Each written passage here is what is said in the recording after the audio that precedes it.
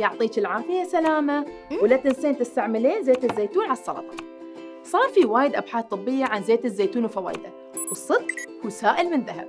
العالم يستهلك حوالي 3 مليون طن من زيت الزيتون سنوياً. في اليونان المعدل هو 25 كيلو جرام من زيت الزيتون سنوياً لكل شخص. هي ما شاء الله عليهم.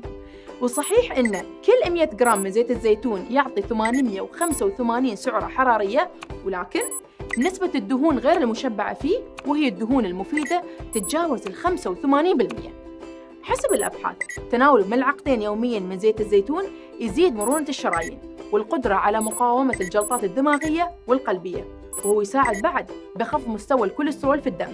وطبعاً عشان يكون مفيد لازم زيت الزيتون يكون ضمن نظام أكل صحي متكامل. يعني ما تطلبين بيتزا X large وتحطين عليها زيت الزيتون.